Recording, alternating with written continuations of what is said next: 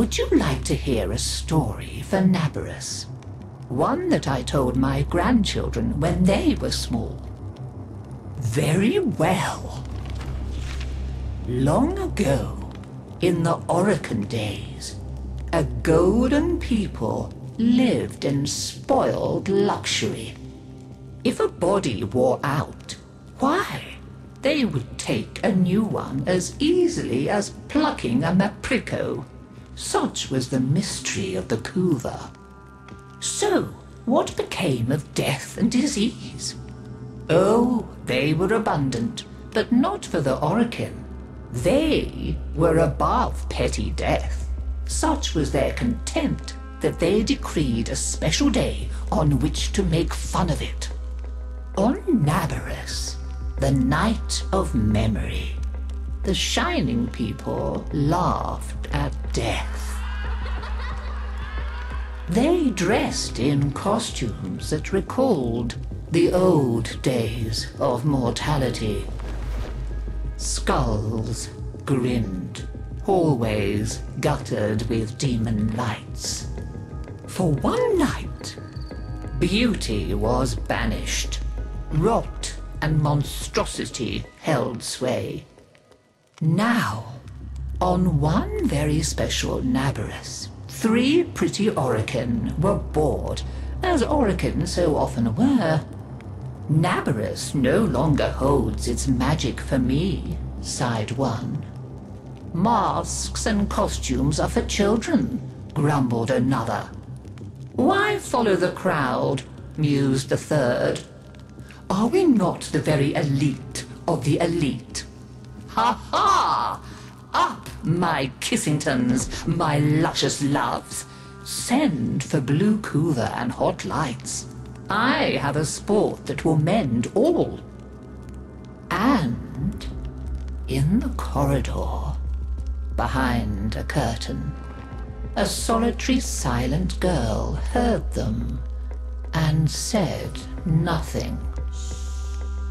Then the three were very wicked. For what do you think they did?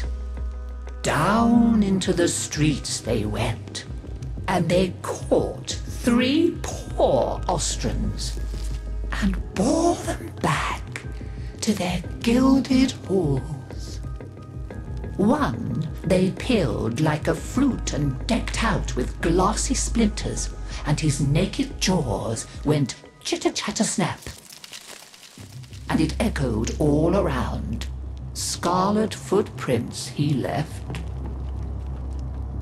Another's limbs they twisted and wrenched his neck, and made a bundle of him until he scuttled upsy-downsy like a horrid crab.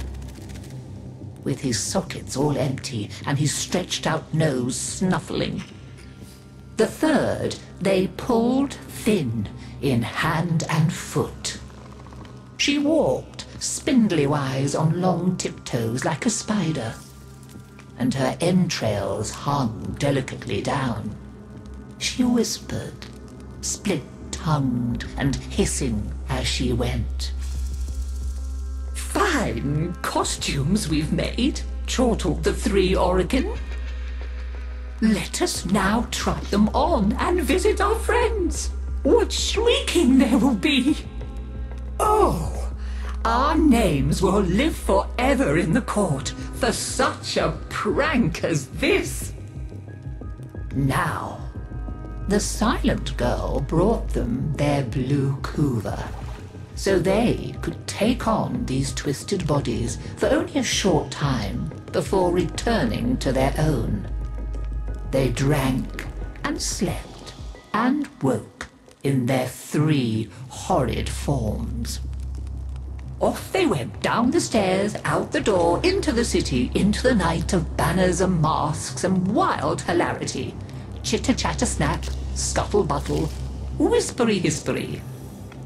As you can imagine, there were many screams and laughs. Such cleverness, such wit. In a high room of the tower, the silent girl looked at the faces of the three sleeping Orokin. she went and opened a little ivory door that she was not supposed to know about, and drew forth a flask that she would have been glassed for even looking at. A flask of crimson kuva, the scarlet seal upon continuity, permanent. And she tipped it down three cruel throats.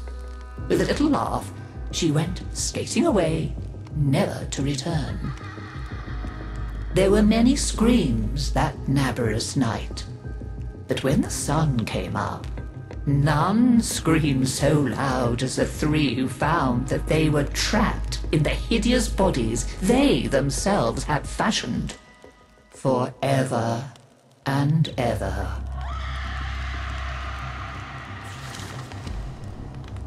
So, listen carefully, Tenno, and beware, for you may hear them coming tonight.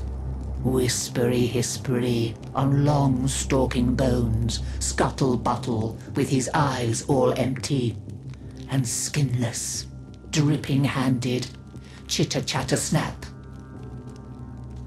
Naberus!